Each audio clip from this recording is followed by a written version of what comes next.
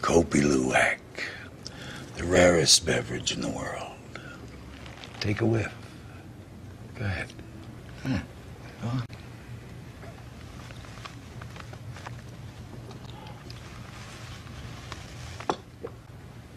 Well, Really good. really good. Do you know what a Philistine is, Jim? Sir, it's Richard. That's right, Phil. Give him the spiel.